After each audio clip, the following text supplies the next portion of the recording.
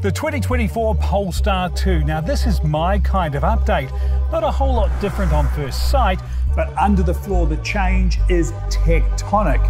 So let's see if the Earth moves for us. Welcome to the garage. Subscribe to see the first drives of New Zealand's newest and best cars driven on New Zealand roads in New Zealand conditions.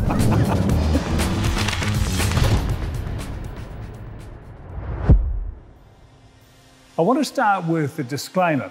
I am a Polestar owner, or at least Mrs. S is. So I have 18 months knowledge of all the ups and downs of living with a Polestar 2. So while this is the first drive of the model year 24 Polestar 2, this review has been two years in the making. Visually, the new face is the closest thing to a facelift. The Polestar 3 style nose hides the sensors, radars, and of course the camera. It's a key change for this car because until now the Polestar 2 has sort of been the unelectric looking electric car. Well, not anymore. Otherwise, it remains the same handsome block of Scandinavian styling. It's taller than a sedan, but not quite as high as a crossover. And while it looks like a sedan, it's actually a liftback. Well, we're on that. 405 litres of storage or 1905 litres with the back seats down. Actually, make that 1945 litres because there's another 40 litres hidden under the floor. Great place to hide Christmas presents, by the way. Well, let's on the subject of space. The Polestar 2 is a five-seater. Our legroom's fine in the back. That seat's back where I have it for the front seat. But at a metre 83, it's starting to get a little bit snug. I reckon if you're a metre 90, you might be touching the roof there. Now this is the long-range single motor, $94,000 worth, and it is well equipped. But I'd recommend opting for the $6,000 Plus pack. It includes a fully glass roof, which is awesome, the upgraded Harman Kardon audio, air quality sensors, and the digital key. Which includes the ability to turn on the climate control by remote, a brilliant touch in the summer heat. Now, the Polestar 2 has been praised for the quality of the materials inside. Nothing looks or feels budget. It is solid, but also free from bling. You know, that understatement was one of the things that won me over uh, with the Polestar 2, but I'm not going to say I was completely besotted. There's a couple of things that stop it from being perfect. To start with, the centre console is about an inch too wide, not enough knee room for six footers and plus, and the cup holder. There's one there. To get the second one, you've got to lift the armrest and it's down in here. It ruins the aesthetic of what is a beautiful interior, and also I hate putting my elbow in my passenger's coffee.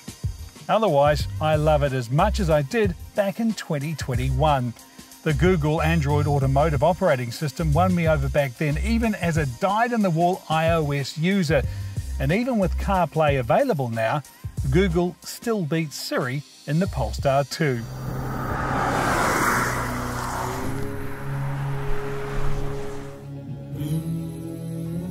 Anyway, that's enough tech. We're behind the wheel now, and the truth is, if you want to see more of the Polestar 2 tech, you can watch our original drive. In fact, click on the screen right now. And I do apologize because it was filmed in November. Make that Movember my one and only attempt. I will not do it again. But you can learn about the tech because right now we want to learn about the new drivetrain. We're actually using the exact same roads for this drive, sort of a, a back to the future thing. But the fact is, there's no deja vu because the Polestar 2 has been transformed. I really mean transformed. I mentioned it right at the start, the shifter rear wheel drive. When we first drove the Polestar 2 on these roads, front wheel drive, and it impressed. On these windy roads, rear wheel drive, it really feels like a whole new car. Even better, the power of this long range version has gone from 170 to 220 kilowatts. That's almost 300 brake horsepower. This is the drivetrain the Polestar 2 should have had from the start. Man, oh man, it's just so much poise. The steering just feels completely different. I've said it before, it's like a whole new car.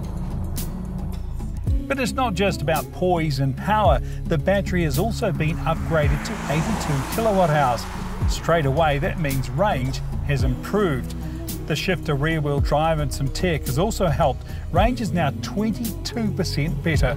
That means this long range single motor has an official WLTP range, of oh, wait for it, 655 kilometres. Now, we all know that WLTP figures can be optimistic, but what they do offer is a genuine comparison between cars, and in this case, 655 Ks makes this a class leader. And for some rear wheel proof, click here to watch Ecotricity's drive on New Zealand roads. And it's not just the size of the battery, charging is now faster, up to 205 kilowatts, which means 10 to 80% charge takes just 28 minutes. And that battery comes with an 8 year, 160,000 kilometre warranty. So if the battery goes below 70% effectiveness, you get a new one. And any of the 27 cells can also be replaced individually. You know, heading out here to the Waitakeres, driving through the city, the only thing I really noticed was slightly less aggressive braking from the one pedal drive. But once you're out here, the combination of the new drivetrain and of course 220 kilowatts, man oh man. So in a game of EV top trumps, the new Polestar 2 would have a few stats in its favour, but not everything. To start with, this one has one more motor and quite a bit more power.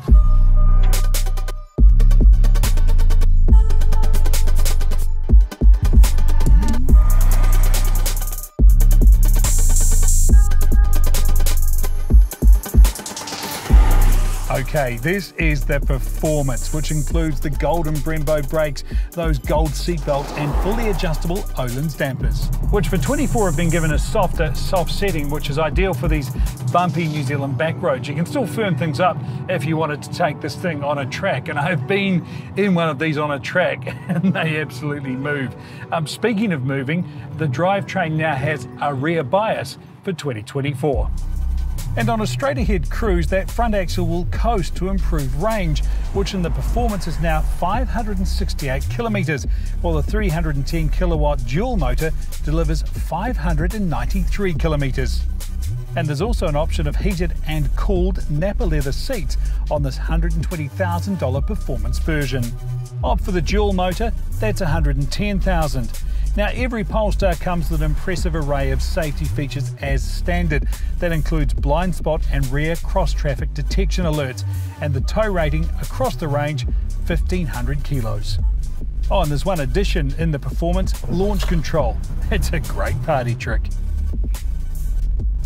It's a heck of a party trick, uh, but it's really about the only party trick. Polestar just doesn't do that. Aside from Google, if you want to make the kids giggle, you can ask it what a fart sounds like. However tempting, I'm not going to demonstrate that right now. Polestar remains resolutely unshouty about their cars. They're free of gimmicks, so they're not really a typical automaker in that way. They're the quiet, stylish achiever. So whether you go for the range topper or, well, the range topper, Polestar 2 still delivers all those things we talked about. In fact, when we stood in this very spot just over two years ago, there's the build quality, the style, the practicality. But now for 2024, a couple of other key things, and mainly in this two-wheel drive model. You've got the class-leading range, 655 Ks, and the other magic thing, rear-wheel drive, a whole new level of dynamics.